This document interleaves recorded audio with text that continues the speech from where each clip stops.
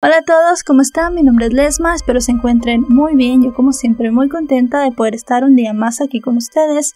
Muy agradecida de que me estén viendo donde quiera que se encuentren.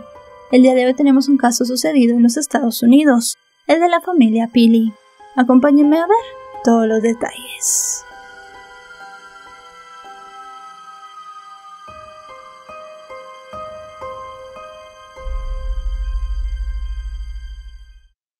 Robert Jeffrey Pili, a quien nos referiremos como Jeffrey en este video, nació el 10 de diciembre de 1971 en Indiana, Estados Unidos, en el seno de una familia religiosa.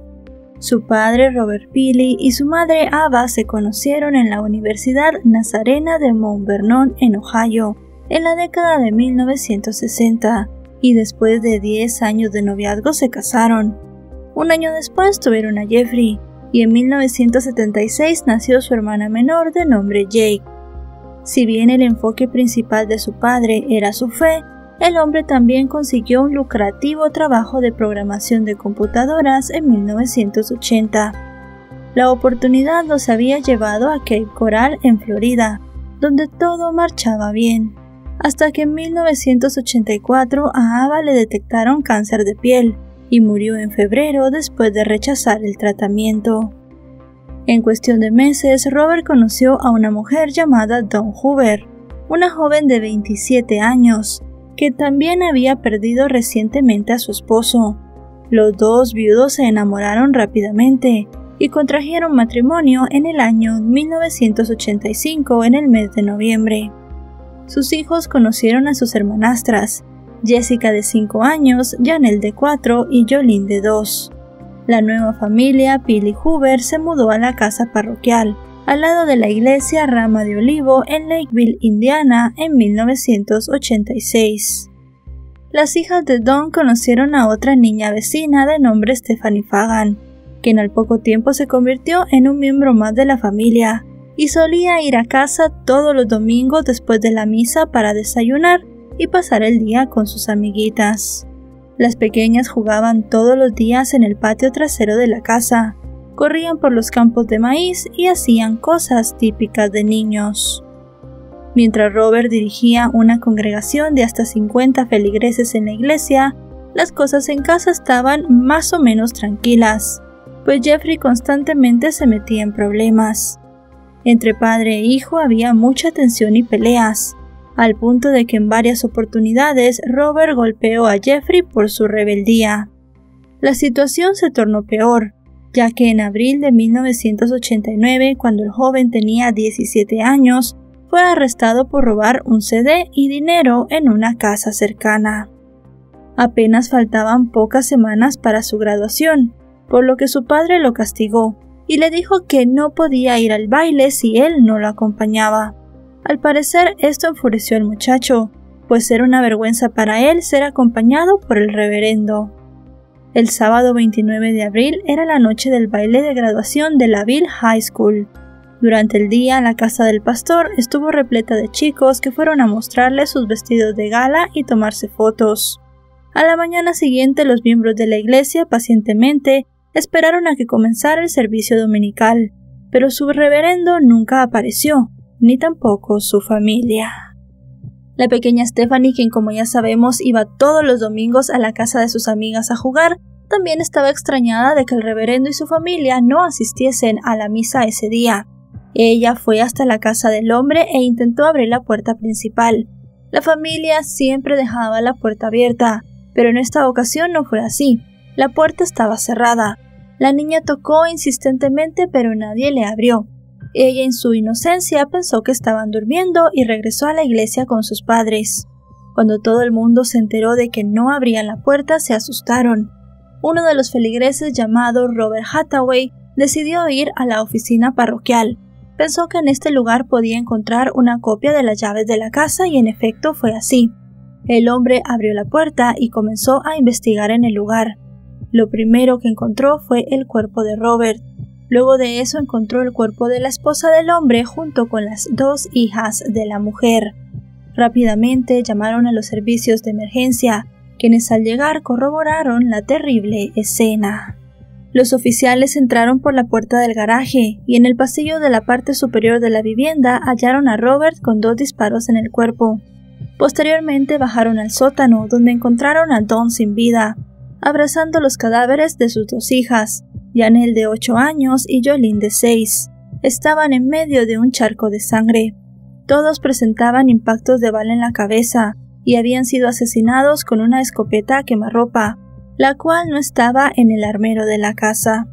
Sin embargo, la familia Pili no había sido asesinada por completo, pues tres de sus miembros permanecieron vivos. Jessica de 9 años, Jake de 14 y Jeffrey de 17. En medio de las investigaciones averiguaron que la niña se había ido ese fin de semana a una pijamada, mientras que la adolescente estaba fuera de la ciudad en un campamento de la iglesia, y Jeffrey había asistido la noche anterior a su baile de graduación.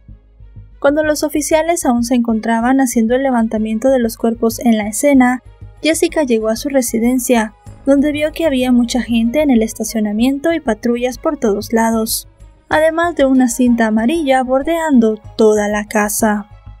Un agente que se acercó a la camioneta donde venía la pequeña con la madre de su amigo con quien estuvo el fin de semana, le pidió a la mujer que saliera del auto y le explicó lo ocurrido. La señora comenzó a llorar y le contó a la niña lo que le había pasado a su familia.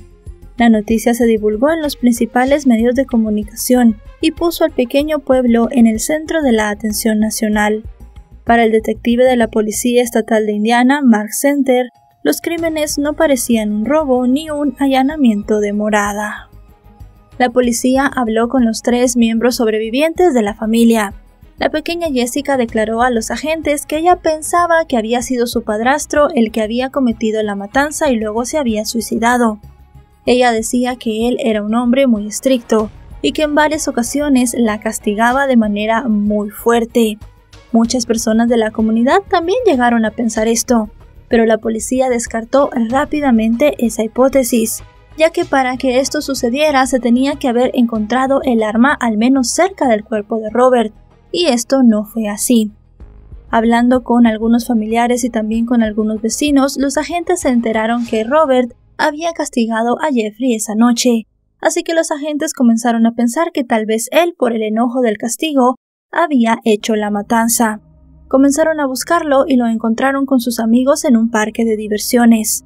Lo interrogaron en presencia de sus abuelos porque él en ese momento, recordemos, solo tenía 17 años. El joven dijo que en efecto había peleado con su padre, pero negó su participación por completo en los hechos. Dijo que si bien discutía constantemente con su padre porque él era muy estricto, las cosas se solucionaban bastante rápido. Dijo además que quería mucho a sus hermanastras y también a su madrastra, y que jamás pasaría por su mente quitarles la vida. Me and my father didn't get along sometimes. And sometimes I'd be really upset with him. But we always worked things out. I I could sit back later and see where he was coming from. I was I was upset and I kept trying to talk him into it and at first he kept saying no and then he finally agreed to let me go. A pesar de su corta edad y de que no había pruebas contundentes de su participación, había cosas en él que hacían a los agentes desconfiar. La principal era su narración de los acontecimientos de esa noche, y el hecho de que lo habían atrapado semanas antes en un robo. Los investigadores manejaron la hipótesis de que el joven había matado primero a su padre, en una ira incontrolable después de una discusión sobre el baile, y luego se deshizo de su familia adoptiva, ya que eran los únicos testigos de su crimen. En la casa hallaron varias pistas que sobresalieron. Las puertas y las cortinas estaban cerradas, lo que para los vecinos era inusual. También faltaba la escopeta en el armero de la familia, y a juzgar por la ubicación del cuerpo de Robert en el pasillo, los detectives supusieron que quien lo había asesinado estaba en una habitación a la que no se podía acceder desde el exterior. La principal evidencia que tenían contra el muchacho era la línea del tiempo. Los Pili fueron vistos por última vez poco antes de que él se fuera al baile. Sin embargo, sin evidencia forense, sin confesión, sin arma homicida ni testigos presenciales, era un caso difícil de probar, por lo que la oficina del fiscal, al no tener pruebas suficientes, optó por no presentar cargos contra el chico. Unos días después, el 3 de mayo, fue el funeral de los Pili, en la iglesia donde el reverendo predicaba todos los domingos. Había medios de comunicación por todas partes. Durante el servicio Jake lucía emocionalmente afectada, mientras que Jeffrey estaba frío y distante. Un mes después del entierro, Jessica, quien no solo había perdido a su madre, sino también había quedado huérfana de padre cuando apenas tenía cinco años, fue enviada por sus familiares a un campamento con su amiga Stephanie, en un esfuerzo por restaurar la normalidad en su vida aunque después de eso jamás volvió a ser la misma niña risueña. Después del campamento la niña quedó a cargo de su abuelo materno, quien se la llevó a Michigan, y la alejó de todas las personas con las que había compartido esa tragedia. Jeffrey y Jake quedaron al cuidado de su familia paterna. Con el pasar de los años, Jeffrey continuó con su vida, se casó, tuvo un hijo y desarrolló una exitosa carrera como consultor informático en Florida. Por su parte, Jessica sintió que sus abuelos la estaban aislando del mundo, y a los 13 años huyó de casa y fue puesta en un hogar de acogida.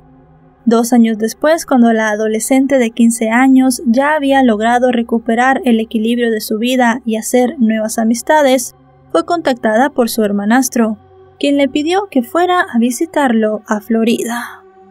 A pesar de haber perdido contacto con ella, su amiga Stephanie siempre iba al cementerio a visitar la tumba de la familia.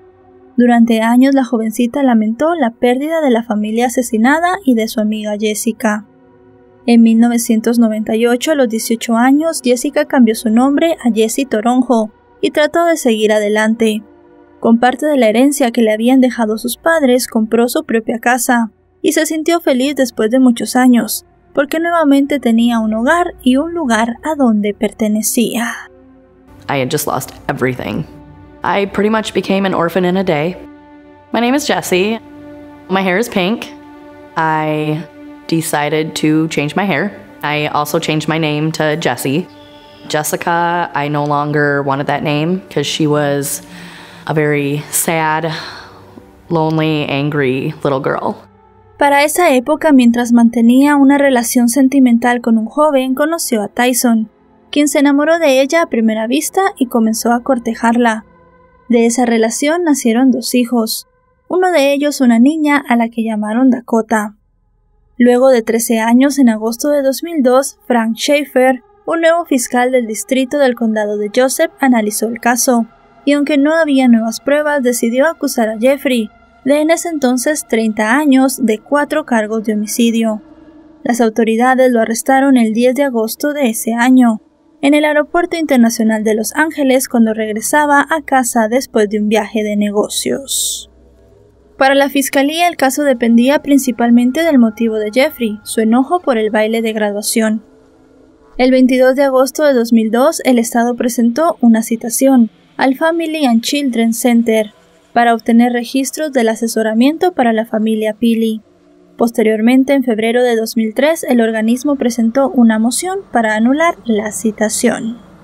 La apelación previa al juicio, llamada apelación interlocutoria, involucró preguntas sobre si una nueva ley que protegía los registros con un consejero estaba sujeta a divulgación, a pesar de que se aprobó después de los asesinatos. El Tribunal de Primera Instancia y la Corte de Apelaciones de Indiana llegaron a una conclusión. Si bien todo lo que habían hablado los familiares de Jeffrey, específicamente sus abuelos paternos con el consejero, había sido antes de que esta ley entrara en vigencia, la solicitud de la Fiscalía se había dado cuando la ley ya estaba en práctica.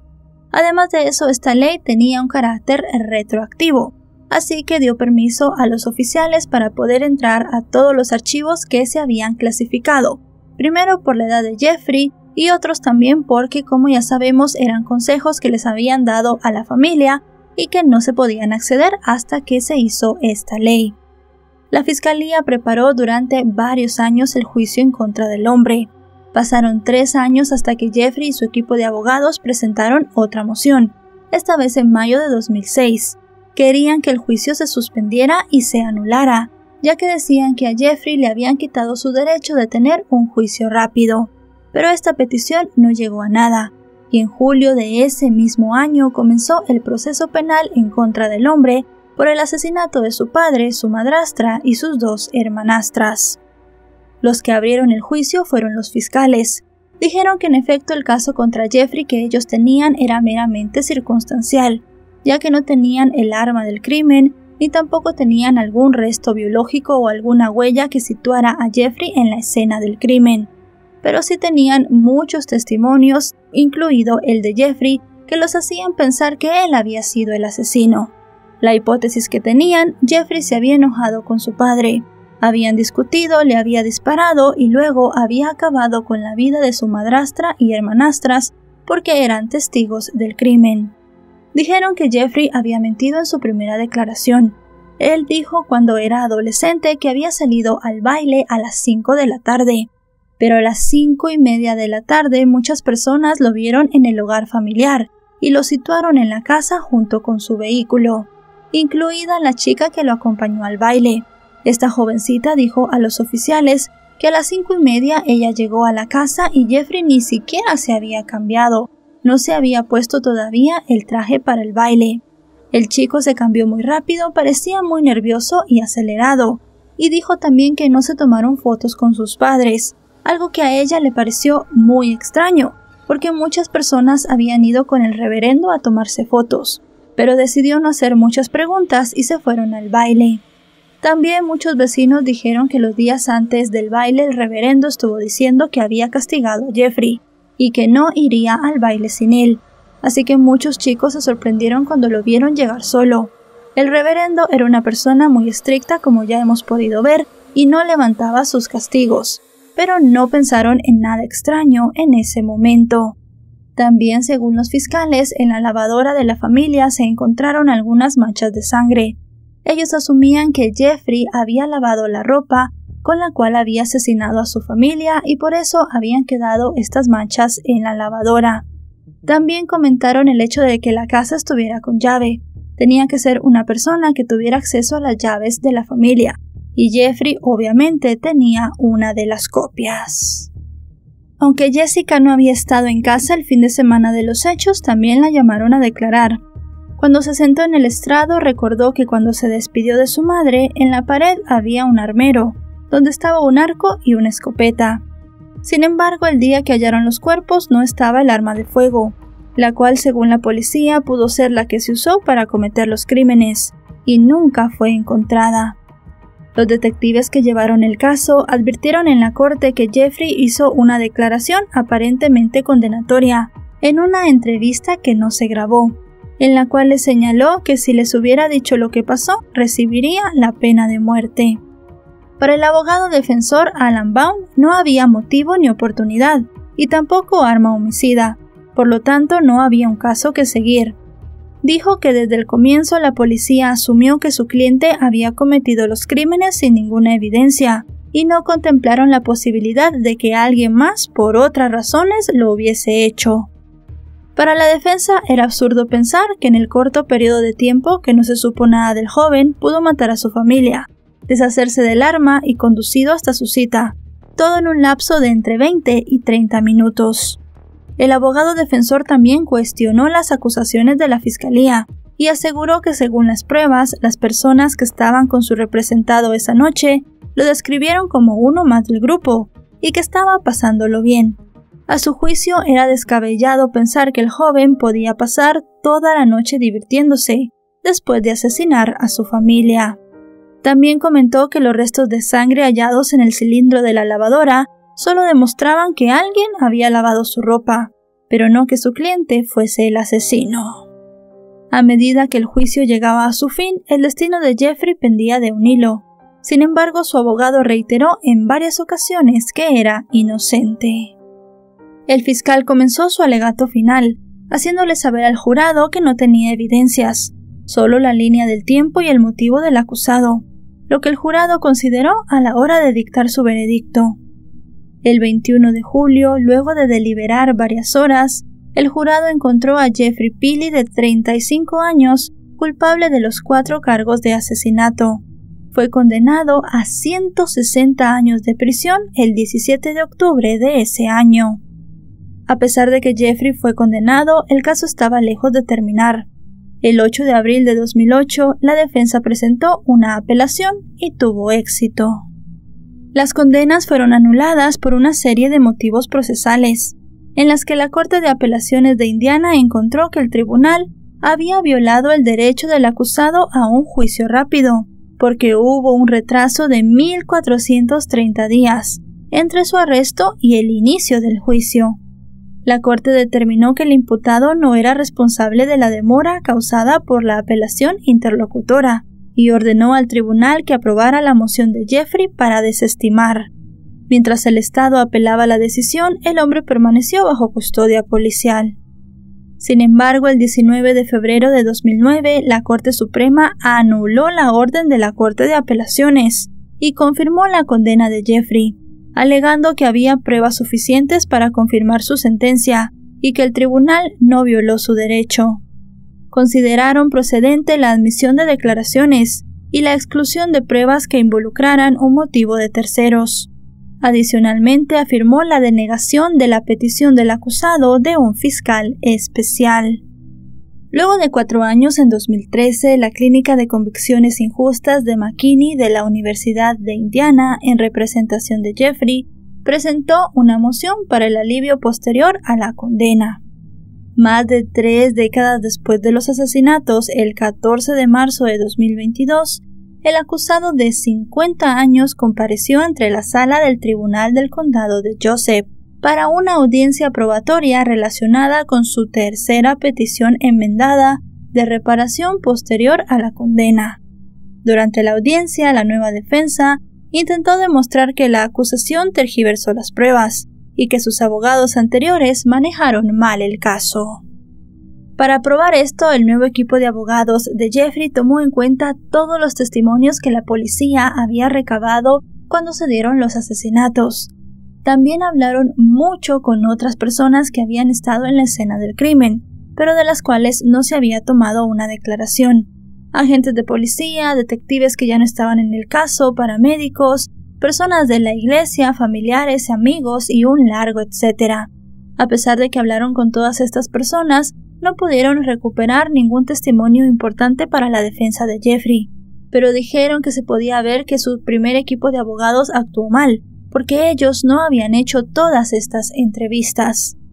También comentaron que si bien dentro de la lavadora, además de las manchas de sangre, se había encontrado un par de pantalones de tela de jean de color azul de hombre, no se pudo demostrar que estos fueran de Jeffrey, y dijeron además que esas manchas de sangre dentro del electrodoméstico podían haber llegado en cualquier momento, no específicamente antes o después de los asesinatos.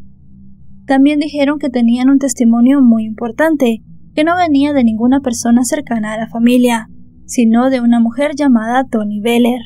Ella dijo que durante la época en la que el reverendo llegó al lugar donde estaban viviendo en ese momento, ella comenzó a hablar con él. Dijo que no le había entrado muy buena espina del hombre, y estuvo siguiéndolo por varios días. La mujer supuestamente había conseguido algunas fotografías de Robert con algunos miembros de la mafia en Florida. Cuando ella confrontó al reverendo con estas pruebas, él le dijo que en efecto, él había tenido algunos vínculos con la mafia en ese estado, y que por eso habían huido de allí. El hombre también le confesó que tenía mucho miedo de que estas personas encontraran su nuevo hogar y a su familia. La testigo aseguró que dio esta información a la unidad de delitos especiales del condado, pero nunca fue contactada para darle seguimiento. Los abogados también mostraron una cinta de video policial del testimonio del imputado, argumentando que su abogado original nunca la recibió o nunca la usó. El 17 de marzo concluyeron las audiencias para la última oportunidad del hombre, condenado a 160 años de prisión, de ser juzgado nuevamente y potencialmente exonerado. Mientras tanto, a lo largo de los años, Jackie Pili quien tenía 46 años en ese momento y solo 14 cuando su familia fue asesinada, había utilizado varios nombres, entre los cuales incluyó Jacqueline K. Delp, Jacqueline K. Delt, Jackie Delp y Jackie Pili Delp. Pero una cosa se había mantenido constante, su confianza inquebrantable en la inocencia de su hermano. Actualmente la mujer está casada, es madre y vive en Florida con su familia, y sigue haciendo todo lo posible para que su hermano reciba la justicia que merece. Siente que Jeffrey fue procesado y arrestado únicamente como resultado del trabajo policial de mala calidad. Para la mujer perder a la familia fue bastante difícil, pero lo era aún más cuando se culpaba a su propio hermano del horrible asesinato.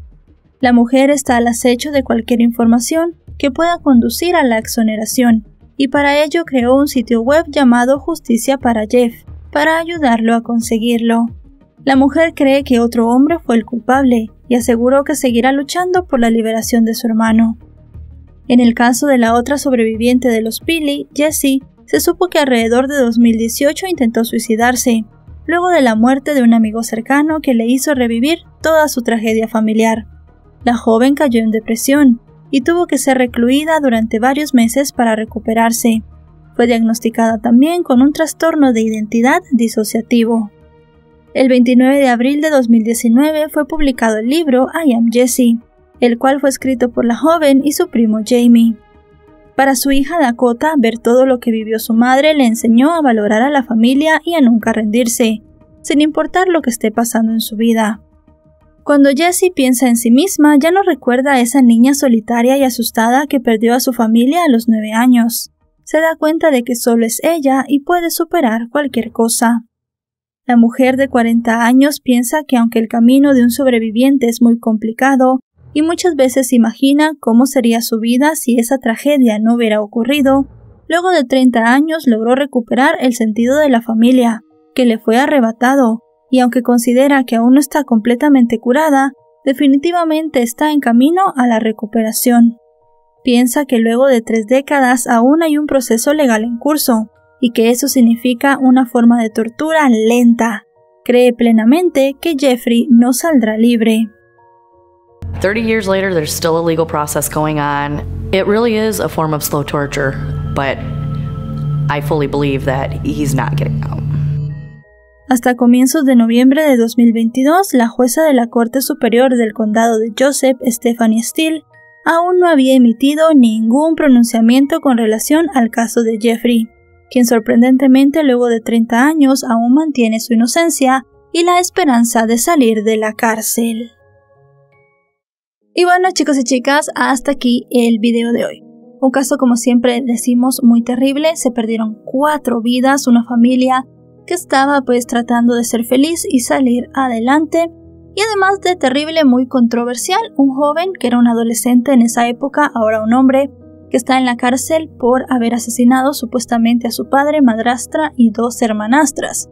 Él sigue manteniendo su inocencia, su hermana cree que es inocente y su otra hermanastra, por lo que vimos, cree que es culpable. Realmente no se ha emitido eh, ninguna sentencia sobre las últimas audiencias que hubo, no se sabe si él va a salir de la cárcel, pero realmente hay muchas pistas que lo incriminan, más que todo, como se dijo, circunstanciales. Pero al final era el único que tenía un motivo, tuvo la oportunidad, podía cerrar la casa con llave. Después del baile no se sabe por qué no regresó a su casa, porque estuvo con sus amigos hasta el día siguiente cuando se recuperaron los cuerpos. Realmente hay muchas cosas que no juegan a su favor y muchos creen que él es culpable, algunos otros piensan que es inocente. Si este video les ha parecido informativo, recuerden dejarle un me gusta, recuerden suscribirse si no lo están. Actualizo 3 o 4 veces por semana y si están suscritos les llegará una notificación cada vez que yo suba un video. Ahora sí, nos vemos hasta otro caso. Adiós.